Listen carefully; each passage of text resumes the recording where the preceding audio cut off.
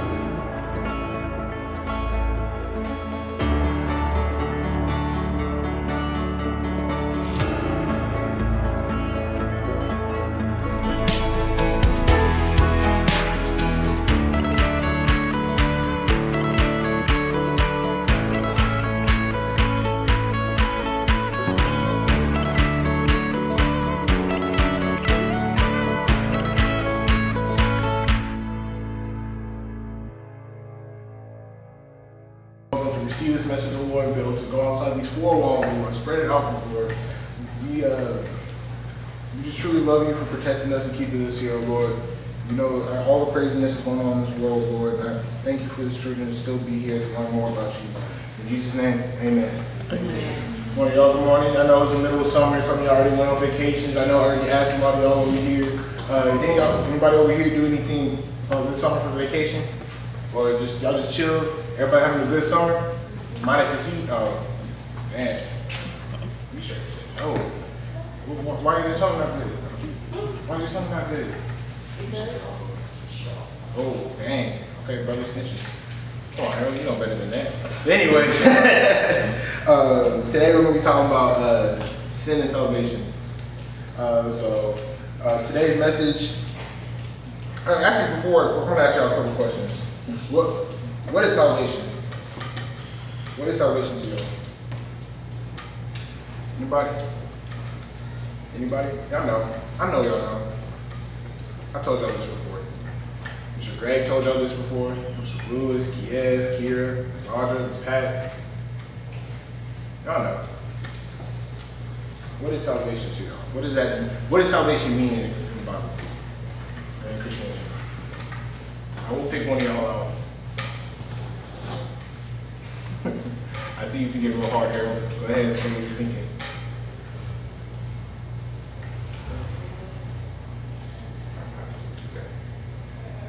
All right. So when you salvation, or what? Or sorry, you know, I'm gonna give you another question. What What did Jesus Christ do? What, what is his big thing when we believe in? What What did Jesus Christ do? What's the biggest thing he did for us? died on the cross, came back three days later. For our sins, right? So our salvation, he freed us. He died on the cross to free us.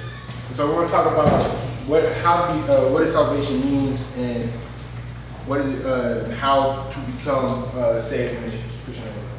Uh, so I got another question for y'all. Uh, this one's a little bit harder question. Um, what with different religions, what what sets Christianity apart when it deals with sin with different religions? Y'all know this one's a little hard. Um, another way I can ask it is, how does the world think of how do you get to heaven? Say you weren't a Christian, how uh, you were a Christian, but you didn't know that Jesus died for your sins and stuff, and you, you didn't know that was the way to become saved. How do people typically think you get into heaven? Uh, works. works. That's a big thing. Christianity is the only religion that will has deals with sin. Other other religions is you do good works, you do what this says here, you do X amount of this, you do X amount of this, you earn your way up to heaven. Christianity, you can't. We can never be God. None of us can ever be God, right? Do y'all think? Can, do any of y'all think y'all can be God? Anybody? Anybody? Nobody? No, we can never be perfect like God. None of us can. And God recognized that we can't be like that. So He gave us an option. He gave us His only Son. His only Son. Not not just. Uh, it's not like He had. I mean, it's not like He had 50 sons. It's like, and this one always causing me trouble. Let me just uh, decide to just put the king to the side real quick. No, He gave us His only Son, that He truly loved, because He loved us that much. And so with other religions versus Christianity. Other religions, like you said, they do good works. They do works to earn their way. God recognized that. That's, you can't ever do that. So what he did is gave his son and he got was simple as that. Um, why do y'all think it's important? How, how do you think? Why do you think it's important to share that?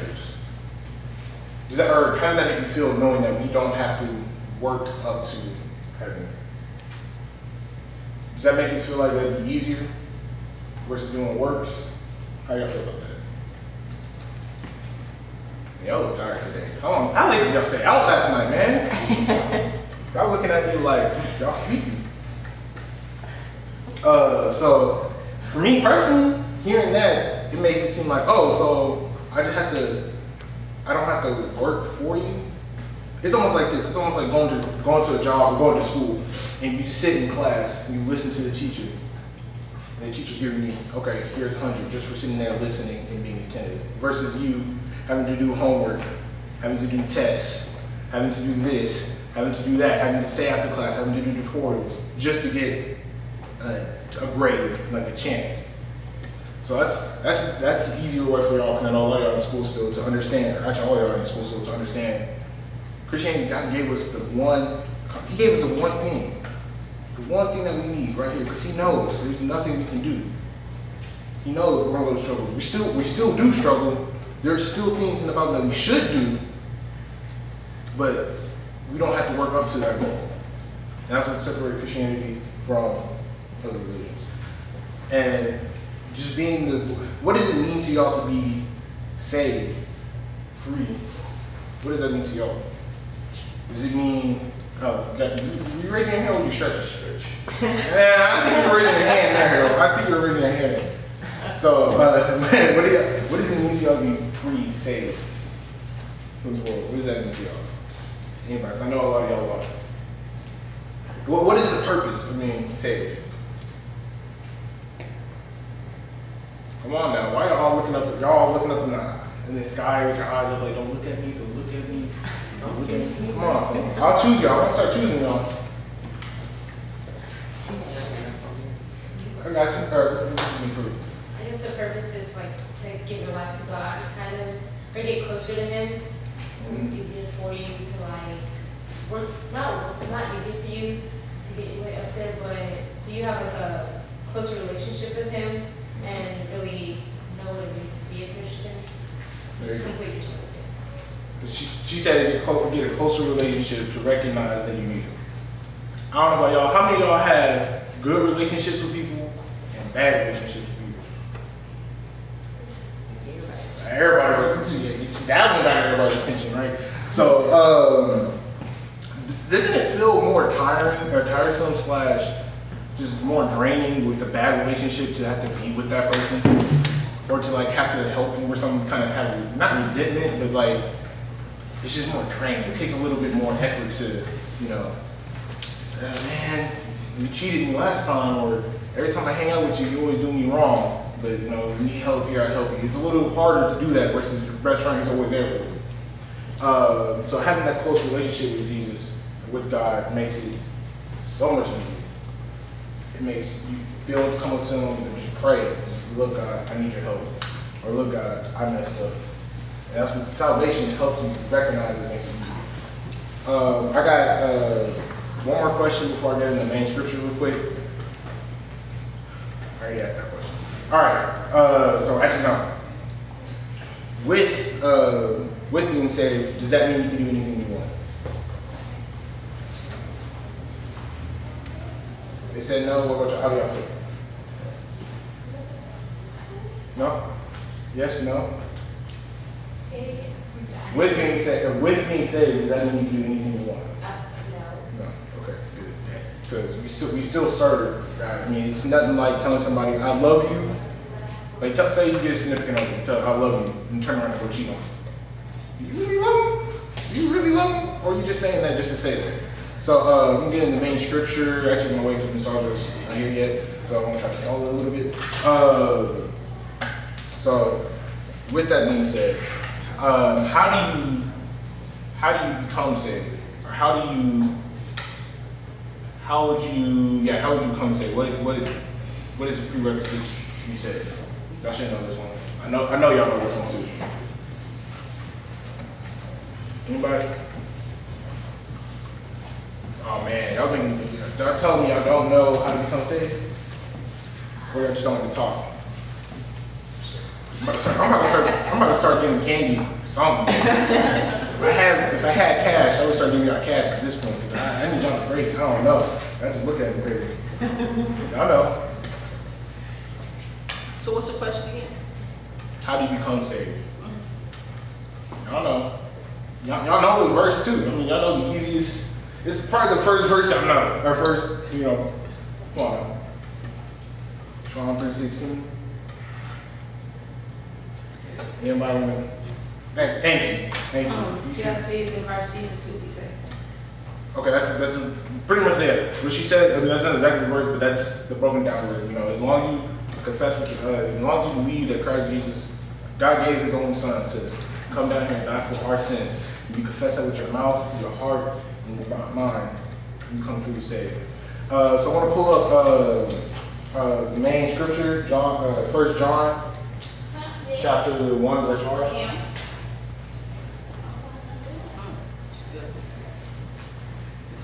This is this is the message we heard from Jesus, and now declare to you: God is the light, and there is no darkness in Him at all.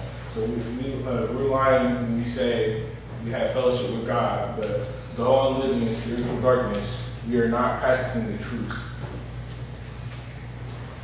So in this scripture right here, it speaks volumes because I, told this story for me personally multiple times. There was only one time that I had somebody ask, uh, tell me or act surprised when they figured out I was a Christian. They're like, "What? You're a Christian?"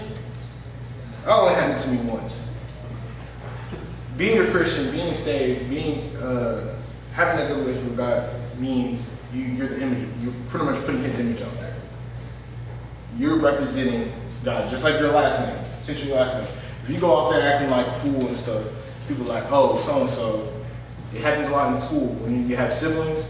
Like, "Oh, you so and so sibling," and you're like, "What's that supposed to mean? Is that a bad thing, a good thing?" Because that name it already puts a prerequisite on you. So you're going around saying I'm Christian, I'm Christian, but I'm over here stealing from them. I'm over here beating up on them. I'm over here cheating on my spouse. I'm over here doing all these crazy things. What does that make Christianity look like? Because I mean, keep it keep it real with y'all right now. United States, a lot of the United States does not like Christians right now.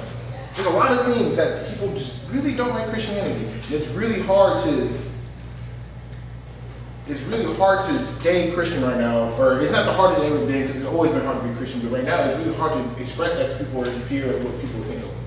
So, but you still have to stay strong, recognize you, we're representing God. We're walking in the darkness, do we really truly love Him? Do we really truly believe that He did everything He did for us? If you don't turn around and smack me in the face, I mean, I know I want to, I want to, like, it's like, I want to, like, I'll never smack my dad. I'll never hit my dad. I, I, I don't want to mess with that. Even if I was stronger, even, even stronger, bigger, or whatever, I will never do that because I have respect for him. I love him. I, sometimes he make me, make me upset, but I won't do nothing to disrespect him. Recognize who he is and I'm part. And this is God we're talking, God who created everything. God who's letting y'all breathe right now. If he really wanted to, he's like, I'm tired of earth or whatever gone. Or make it painful. And doing that makes it sound nice. Or he can just say, you know, I want to y'all all just suffer. Just pain, just like that. He loves us when he gives us a second chance. Uh, so that's why it's always important to go around and express and show, like, I'm a Christian, stay firm. It's hard to stay firm. Hard, especially with the fasting. I mean, I can, everybody heard, uh, pretty much all all y'all heard in here the Roe v. Wade. All y'all know. I know some of y'all have different some of y'all might have different feelings about it, and it was hard. It was hard because I had a lot of friends, you know, say certain things, and I'm like, look, as a Christian, this is how I feel about it. I can see, I can see where the world's coming from. Y'all looking from the world view, but as a Christian, God says it's wrong. I mean, wrong is wrong. I can't, I can't not. That's what I believe in. And I'm stay firm in it. I'll tell them that. It's like, look, I'm not gonna, I'm not gonna bash you. I'm not gonna hate you for this. I can see what you're saying. I know, I understand, but this is what I believe. I'm not saying like I, it's the same thing with uh, the, you know, won't talk to me. Same thing with that. It's like, look, this is what I believe in. I don't do this. I don't recognize it as a good thing. I don't recognize it as a thing it should be. I will still look at you as a normal person, as an individual. I won't see you as what you, as you proclaim yourself. I see you as, as what God intended, what God has it to be. It's not what God intended. It's what God has us to be. It's no intention. It's He has us there. That's what we are. No matter how we feel, that's what we are. It's like you can you can you can fold a paper uh, airplane like it's a frog, but no, it's an airplane. No matter how that paper feels, it's going to be what you made it. So um, it's it's really hard, but you have to stand true to that. Because then a lot of people are like, well, Christianity says this, but I'm seeing X, Y, Z do this. Why should I believe? Why should I believe? Why, why, why should I listen to somebody who's doing all this craziness? Why should I believe that Christianity is real? It's like, listen to people who's like, oh, don't drink and drive. And then they oh, they're in accident drinking and driving. It's like, okay, yeah, cool, I can see why not to drink and drive, but how you, you're, you're gonna take their word for less. So uh, the next scripture is gonna be 1 John chapter 2, verse 2.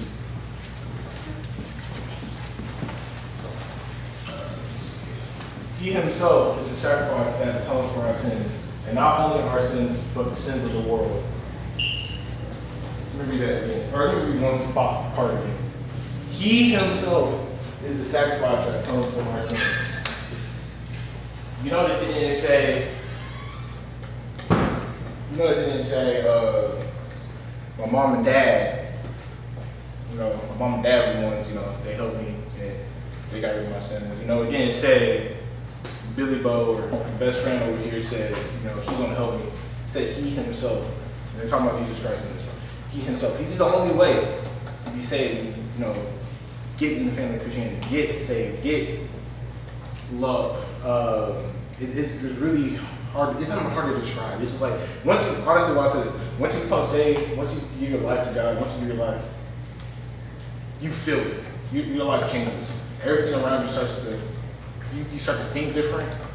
Everything in your life starts to turn different.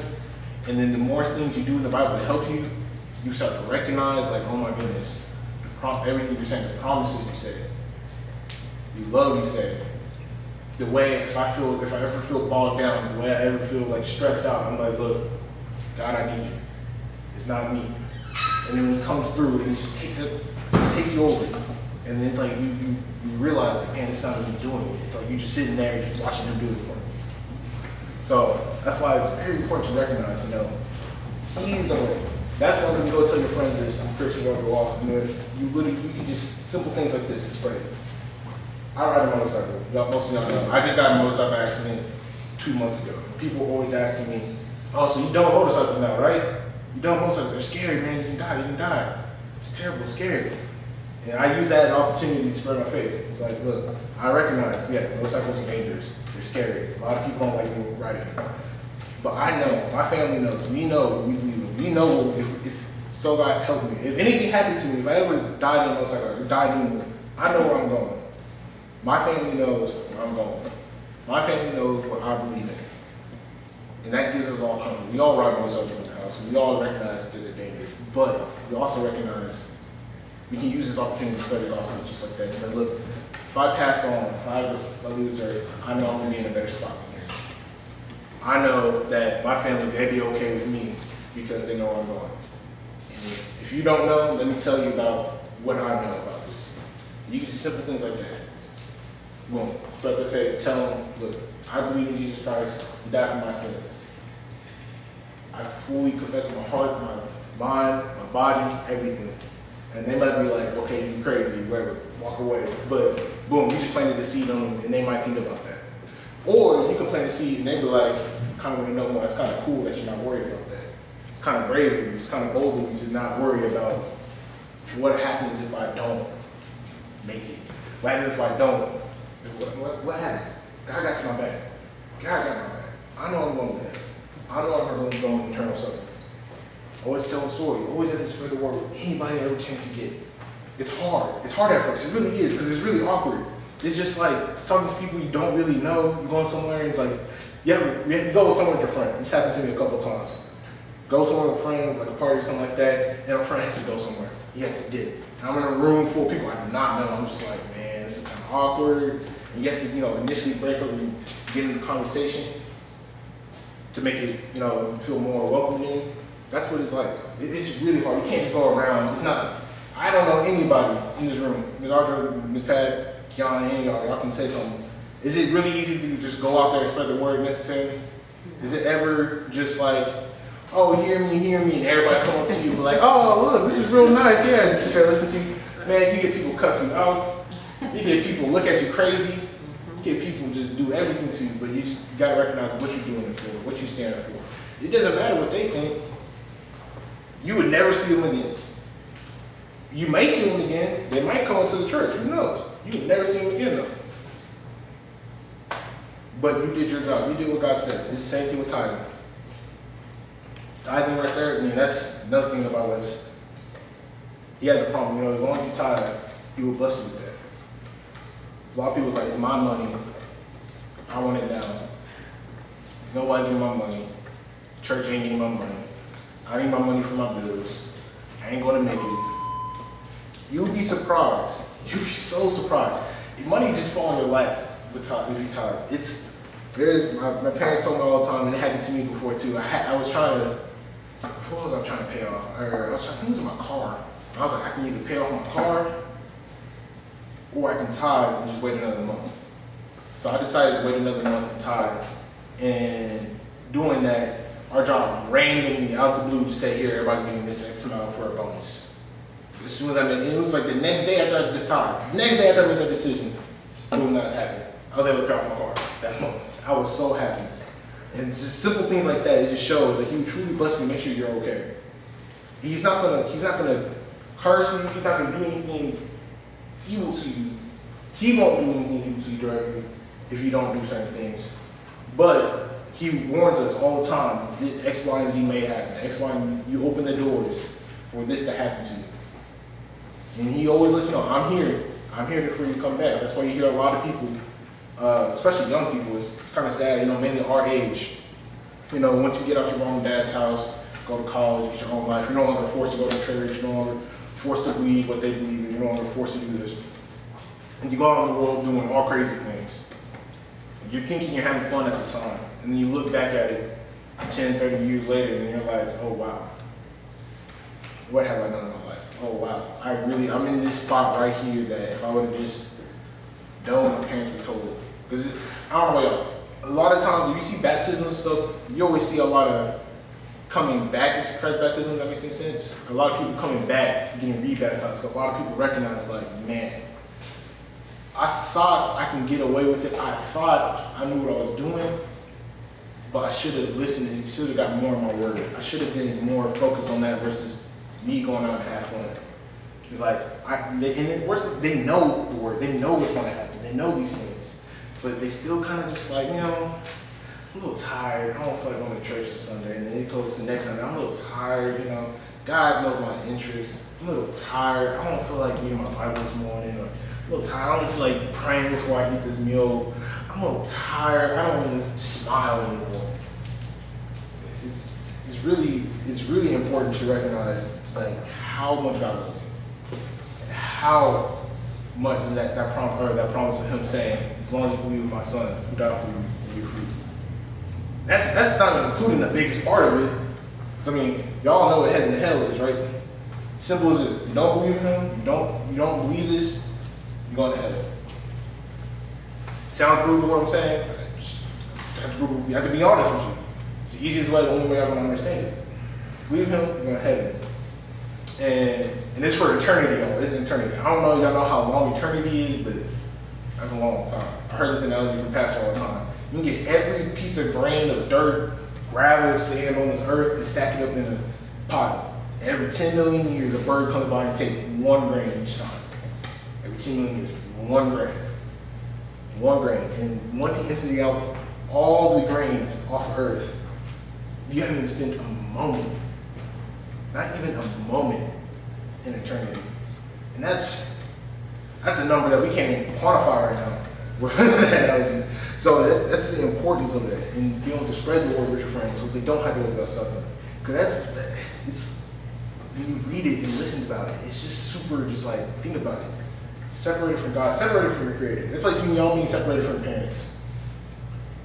Like, as a young kid, you're five years old, parents leave, you're by yourself. You have to fend for yourself. You have to, and, then, and honestly, this is, we can talk about this on earth, honestly. Not believing in God and stuff like that it's like going out being in your 20s or 18, high school, doing whatever y'all want. It's like going out without your parents. No protection. Nobody there to fall back to. Or you think there's nobody there to fall back to. Because he's always going to be there for you to fall back to. You have to take all this stuff on yourself. You have to figure it out yourself. And you may think you're doing it by yourself, but there's some, and people who do somehow seem like succeed, they think they did it by themselves, they really didn't. Because God has a plan for them. God has opened a door for them to get in there. And a lot of times they realize, oh no, I messed up. And a lot of people like to say the Bible is not true. How you how can you how can you trust the Bible? How can you trust a book that a man wrote? How can you trust a book that people could have just changed up?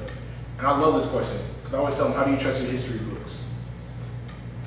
And a lot of them like, well, it's credible, da da da da. I was like, go look. I was like, if you do intense research in the Roman, in the Roman uh, history book, let me know where you see about Jesus Christ. Let me know when you hear a lot of those same stories. Let me know when you hear about crucifixions. Let me know when you hear about this stuff and how you feel about it.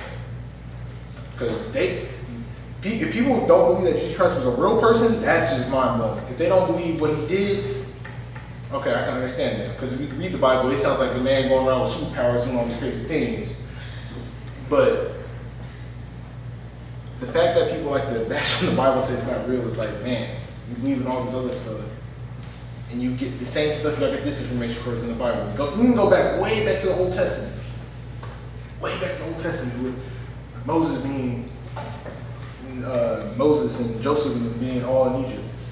You go back to ancient Egypt history, Egyptian history.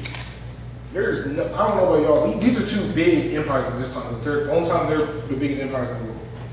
One empire is going to have something in history saying, oh, we lost a, a whole bunch of slaves left and our king died by drowning.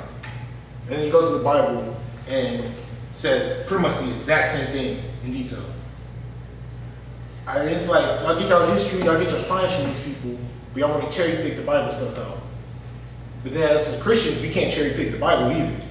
So I mean, that's one thing. A lot of people think we're hypocrites. and I think a lot of us, honestly, I will say this, a lot of Christians can be hypocrites. They could cherry pick the Bible. They're like, well, if I do this, I don't believe that. You know, all sins are equal. God got my back. You can't do that.